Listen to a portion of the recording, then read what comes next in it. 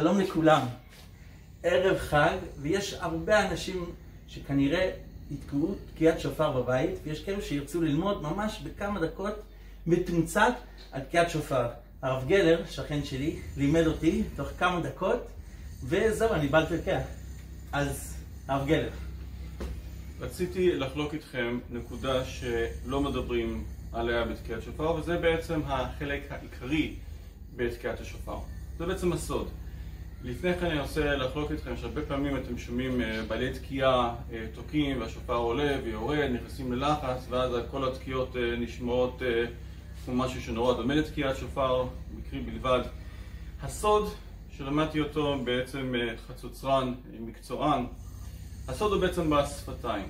השפתיים הם אלה שמחליטות אם הטון יהיה גבוה או יהיה נמוך. אם השפתיים רפויות, הטון יהיה נמוך. השפתיים תהיינה מכווצות ו... מכווץ, כן. הטון יהיה יותר גבוה. הרבה פעמים אדם נכנס לזה ללחץ... מכווץ יותר סתום. זה סותם את זה. ואז כשאדם באמצע תקיעה לפעמים נכנס ללחץ, או השפתיים רפויות, ופתאום uh, מתכווצות, אז הטון יכול לעלות ולרדת. הסוד הוא כזה, תמצאו את ה... דרגה של הרפיון של השפתיים שטובה לכם ותישארו בה. הכוח של האוויר לא מגיע מהשפתיים. השופר לא יהיה חזק יותר ולא יהיה חלש יותר אם השפתיים שלכם תהיינה רפויות או מכווצות. ההפך הוא הנכון. האוויר צריך לבוא כמו בתוך קול, מגיע מהבטן, הריאות, באזור הפה, אבל השפתיים הם אלה שצריכים, צריכונה להישאר אותו דבר בדיוק. עכשיו, כל שופר הוא שונה. השופרות האלה, יש שופרות עם uh, פגיעה מאוד מאוד מקצועית, יש כאלה שיותר, יש כאלה שפחות. הסוד הוא תמצאו את המקום שבו השופר עומד עם הכי פחות פריחת אוויר, כל אחד עם ה...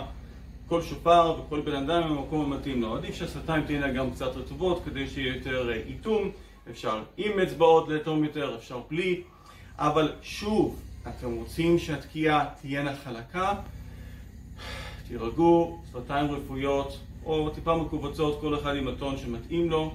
תדאגו למצוא את המקום, תנסו בעצמכם את המקום שהכי מתאים, האם זה בצד, יותר באמצע, כל אחד עם המקום שמתאים לו וכל שופר הוא שונה. עכשיו אני מביא לכם עכשיו דוגמה.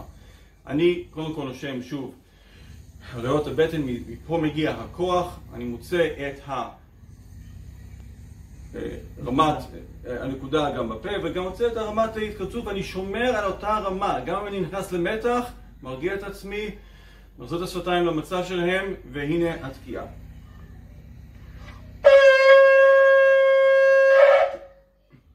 עכשיו, התקיעה הראשונה, דוגמה מצוינת, לפעמים יהיה לך חריקה וזה נורמלי עד שמוצאים בדיוק את הפוזיציה הנכונה והכל הכל בסדר גמור כל מה שצריך לעשות זה פשוט ללמוד, רגע התקיעה הראשונה יצא לי קצת מדי, קצת פחות, לנשום עמוק, להירגע ולדאוג שהשנייה תהיה במקום היותר נכון, והנה רצף.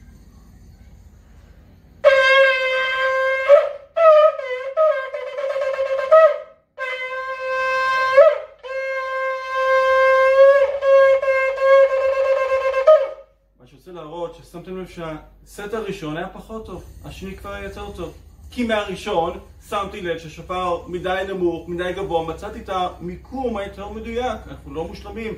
בפעם הראשונה זה לא יצא מושלם, לא נורא. אבל שמרתי על אותה רמת התקצות של השפתיים בהם לא נגעתי. כל מה שעשיתי זה מצאתי את המקום הנכון של השופר, הוצאתי את האוויר מהבטן בצורה יותר חזקה, יותר קלה. ורק לסיום רוצה להראות לכם מה שדיברנו בהתחלה שימו לב לתקיעת שופר עם שפתיים רפויות באמצע ומאוד מאוד מכווצות. נתחיל מהנמוך לגבוה.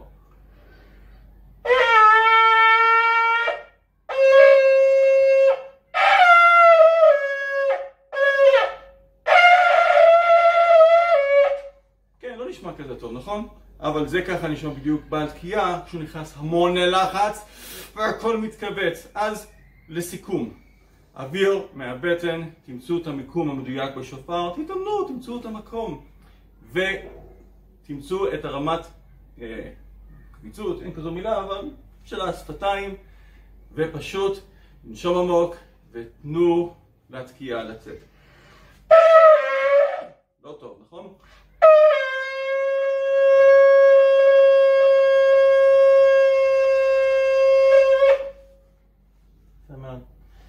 ואז אה, אז ככה, לפי מה שצריכים לעשות, זה בעצם תקיעה, שברים, תרועה והתקיעה. וזה שלוש סט, זה בעצם שלושים אה, תקיעות. אנחנו צריכים אה, גם לעשות אה, לפחות תשעה שברים, נכון? התקיעה צריכה, אה, לא, סליחה, לא תקיעה, השברים צריך להיות יותר מהתקיעה. כן, מה שקורה זה ככה, כן. יש המון המון המון שיטות. בגדול אנחנו מנסים שהתקיעה תהיה באורך של הבכי באמצע. יש שני סוגי תקיעות בראש השנה.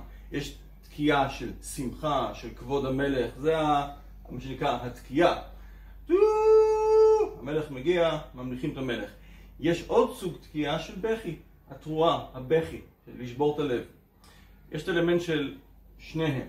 עכשיו, בתורה מרומז שצריך להיות שלוש, שלוש תקיעות, שלוש סטים. אה, תקיעה, בכי, תקיעה. אחד, סט כזה למלכויות, זיכרונות ושופרות. אז לכאורה מדאורייתא, אדם תקע תקיעה,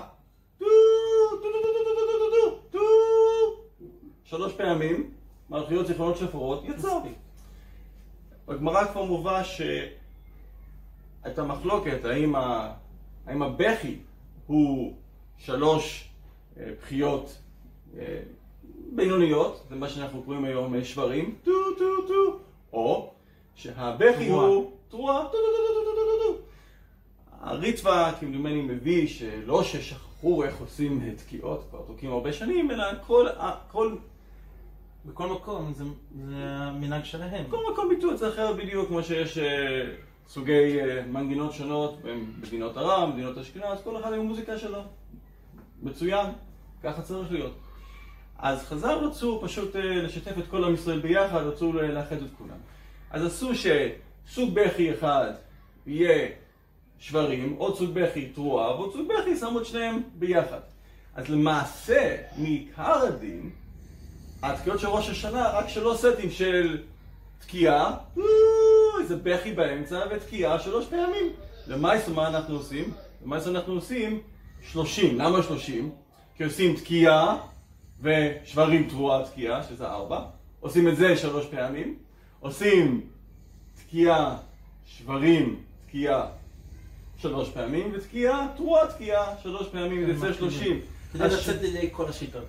כן, כמו שהריטב"א אומר, לאחד את עם ישראל, אבל בסופו של יום, בסופו של יום, שוב, צריך להחזיק בראש שצריך שלוש פעמים לתקוע תקיעה עם בכי באמצע, ועוד פעם תקיעה. זה שלוש פעמים, אוקיי? אז אה, עוד זאת, כיוון שאנחנו בעצם רוצים שהתקיעה תהיה באורך של הבאמצע, לכן אנחנו בתקיעה, בסט הראשון שאנחנו עושים תקיעה, שברים תרועה תקיעה, אנחנו עושים את התקיעה יותר ארוכה.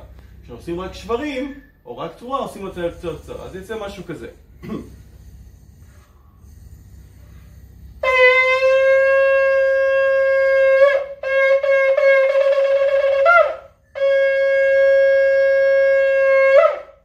לב, התקיעה הייתה יותר ארוכה. כשנגיע של השברים תרועה, תראו שהיא תהיה יותר קצרה.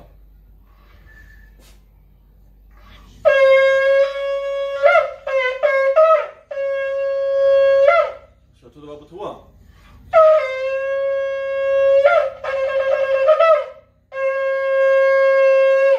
אז אני יכול לעשות תקיעה יותר קצרה מאשר...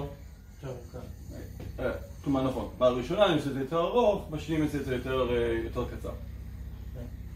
יישר כוח, זהו, אז אה, רק לסיכום, כי אני ממש למדתי תוך כמה דקות, להרטיב את השפתיים, עדיף, זה עושה יותר אה, איתום. למצוא את המקום, נכון.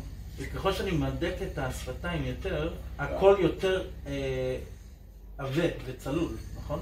יותר, גבוה. יותר. גבוה. כן.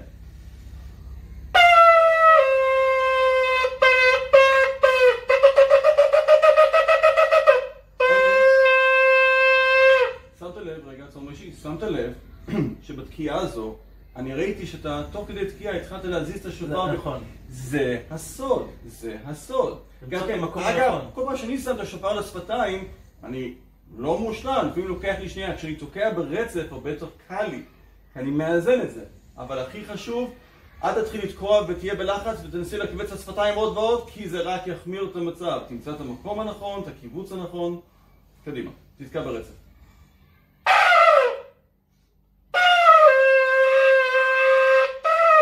לא מצאתי. שוב, שוב, שוב, שוב.